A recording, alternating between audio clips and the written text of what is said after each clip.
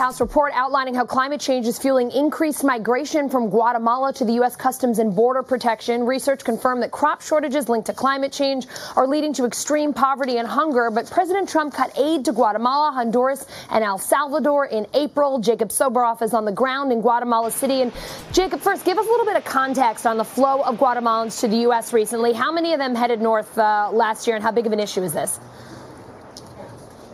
Uh, over 100,000, Allison. Guatemala wow. is the largest sending country of migrants coming to the United States, both last year uh, in fiscal year 2018 and 2019, which is why this is such a big deal. The bottom line is the Trump administration produced its own evidence that climate change and climate change linked food insecurity is fueling migration to the United States. People are literally starving on the ground here. Mm. Uh, and the foreign aid, the foreign assistance that the U.S. would give to this country to help people down here, uh, they decided not to double down on it in order to slow and stop the migration and ultimately to save lives, uh, but to cancel it entirely. So, Jacob, I mean, this is significantly contributing to the increased number of undocumented immigrants uh, coming to the southwest border of the U.S. Can you just talk about, you know, overall the problem that we're dealing with there?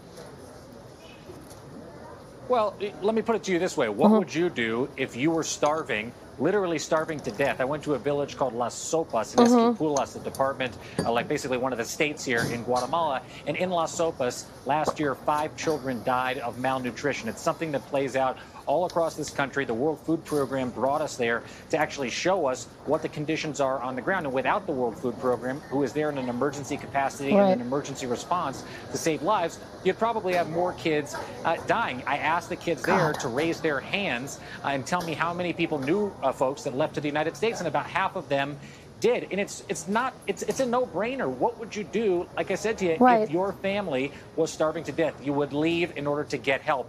That's what people are doing all throughout Guatemala, particularly in places like Huehuetenango in the western highlands, uh, where coffee and the coffee plant is being decimated by something called coffee leaf rust, a fungus that's spreading rapidly due to climate change. So while climate change is not the only factor that's pushing people out of Guatemala, starvation really is, there are many factors which ultimately contribute to it. And it's something the Trump administration not only knows about, not only has their own evidence about, uh, but is completely ignoring in terms of defunding uh, help through programs like USAID on the ground here. Yeah, Jacob, let's talk about that for a moment more, because as you mentioned, we have this internal White House report outlining how this is a problem. Trump administration obviously aware of it, cutting aid there. Uh, are, are, they acknowledging in any way that something needs to be done, uh, uh, considering a reversal in approach?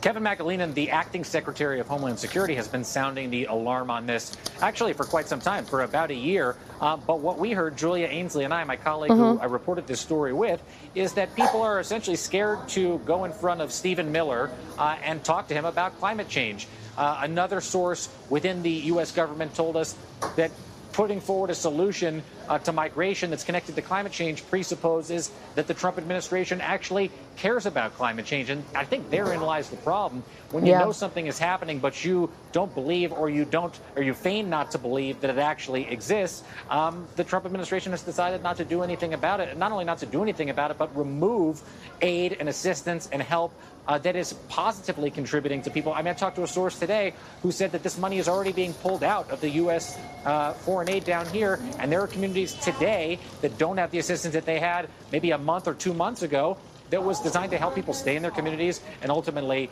uh, survive.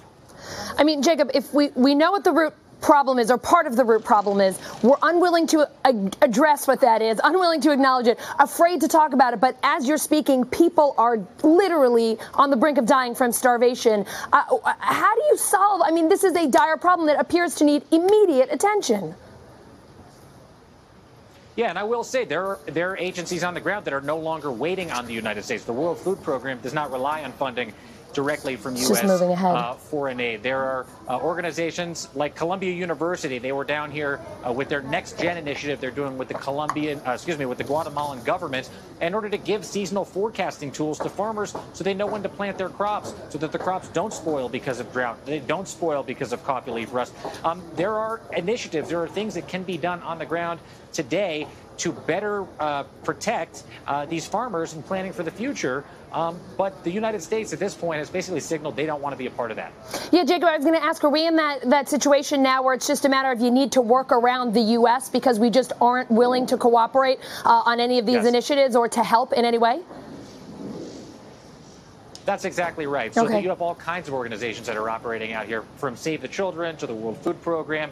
Um, USAID had a program called Feed the Future on the ground here they're not going to, Guatemalans and rural communities are not going to be able to rely on funding from that program any longer. So they're going to have to turn to sources that independently fundraise. The Guatemala, Guatemalan Ministry of Agriculture is going to have to step up. Um, but the reality is, the United States is one of the most prosperous countries in the world. Right. It is in the interest of the United States, if they do not want people coming uh, illegally across the southern border from Guatemala, again, the country that's sending the most people, to find a solution to this crisis, to fund solutions to this crisis. But the reality is, now on the ground, you're going to have to find solutions that are outside of the United States. Jake, it would be very interesting to see if the uh, the U.S. decides that we're going to acknowledge that problem, if only uh, to address that immigrant issue, as you mentioned. Uh, we know that's something that obviously uh, the Trump administration is concerned about. We shall wait and see. Thank you, sir.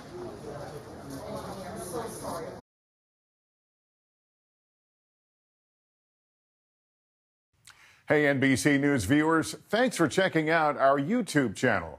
Subscribe by clicking on that button down here and click on any of the videos over here to watch the latest interviews, show highlights, and digital exclusives. Thanks for watching.